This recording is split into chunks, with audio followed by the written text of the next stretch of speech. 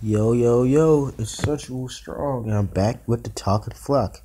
Today matchup will be the Ultimate Warrior versus John Cena in the Ultimate matchup, and which one will win. Keep in mind, these two have never ever faced one another in the ring, and knowing that the Ultimate Warrior is dead, they never will. But let's so say they did, and let's so say it did happen that these two have fought mono to mono individually in the ring. And I'll tell you which one I personally feel like will win, and I'll tell you why. But first, the Ultimate Warrior. Crap, sorry.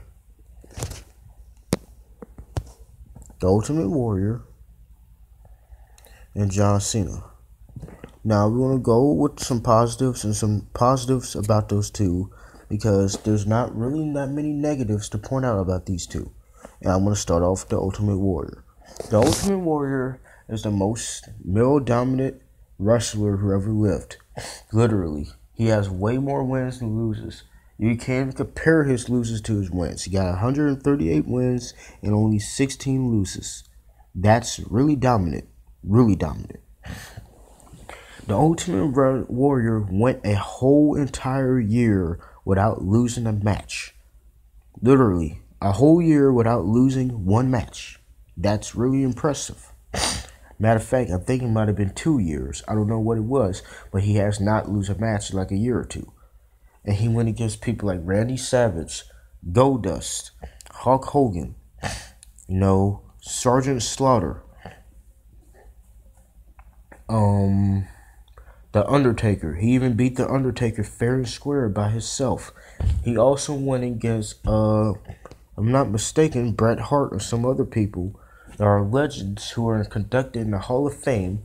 Keep in mind, the Ultimate Warrior is in contact is in the Hall of Fame himself, and he beat these people fair and square.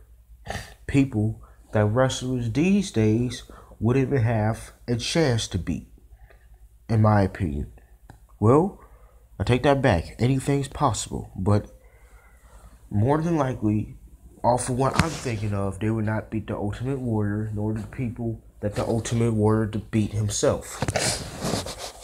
The Ultimate Warrior was about 275 to 285 pounds when he wrestled back in the 80s and the 90s. He can lift up people double his weight. I think he lifted a 400, 500 pound man and slammed him. The Ultimate Warrior defeat the Ultimate, uh, the crap, the Undertaker, fair and square. And for you to beat the Undertaker, you have to be extremely, extremely, extremely good. Cause I don't recall John Cena ever beating the Undertaker and they went against one another more than once. The Ultimate Warrior have won several several championships and have made history for WWF as well as WWE. He wrestled, I want to say, maybe eight or nine years. And trust me, when those eight or nine years were like in the 90s and the 80s, People were used to people around the world would watch this guy wrestle. Literally, they would go from Australia or South America or crap, the Middle East, just to America just to see this guy wrestle and beat the living crap of some other wrestler. The Ultimate Warrior is really energetic. I have never ever saw him get tired in a ring. Literally, he's like full of stamina and speed. He moves extremely fast for his size. He might not be the tallest, but despite of his height, he beat people that were like six six. This guy is really phenomenal. Literally. I wish he was still alive, but sadly he's dead. And you know, this guy was just really awesome. You can look at his physique. I don't think he have any body fat on him whatsoever. It's just that this he was a monster, you know, an unstoppable machine. He's the most dominant male wrestler who ever lived. Have way more wins than loses. Can't compare his wins to losses. And not to mention the championships he won. He won, I want to say, at least four. And for him to only do 156 matches, that's pretty good. You know, that's pretty good. What else can this guy do? Um, he's he. I don't think the Ultimate Warrior ever got injured. I think he went injured free for about seven to eight years that he wrestled. I don't think he ever got injured. I don't think he ever got tired. I don't think he he no he hasn't got injured. He has never got tired. If he got injured, I think he hit it and kept fighting with his injury. He has never quit a match.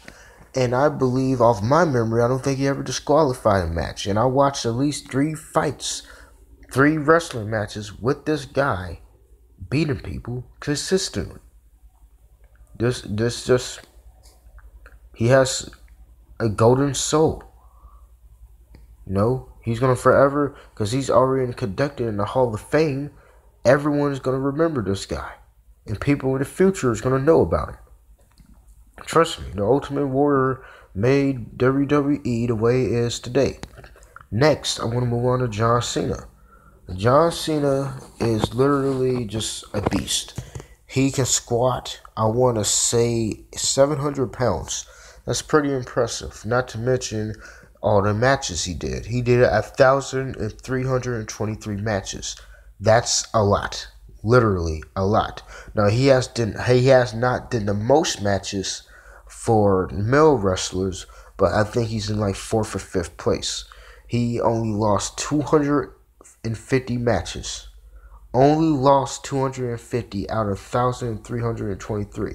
That means he have over a thousand wins. Not to mention he has 16 championships. Not to mention he's been wrestling since 2000. Since the year 2000.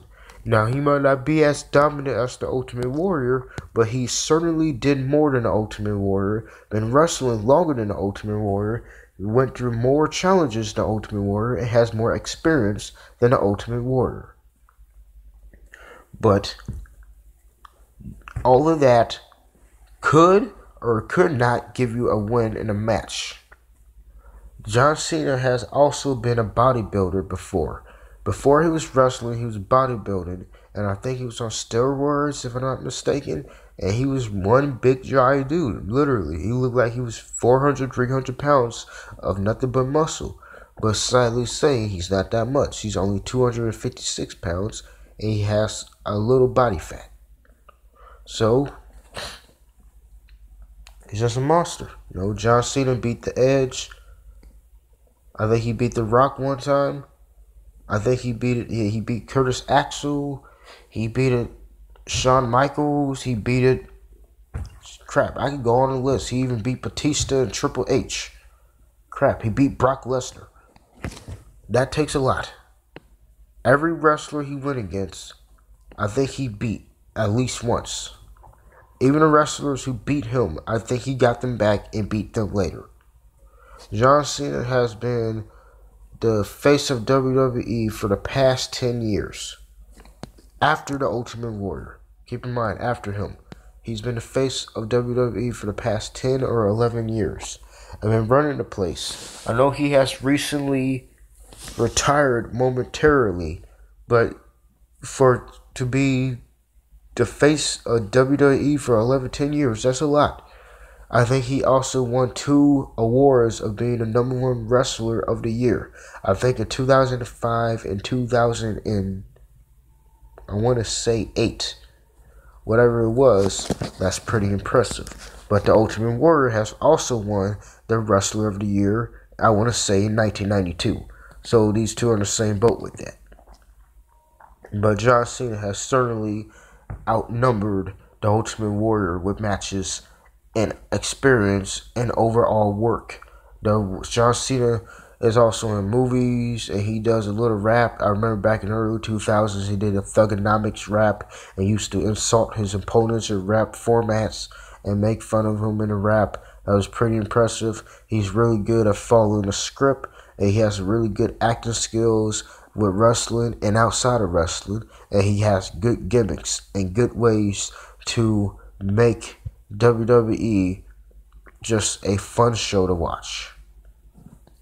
But I won't get to the final conclusion between John Cena and the Ultimate Warrior. If these two had an ultimate matchup in a one on one fight, and I had to pick which one will win,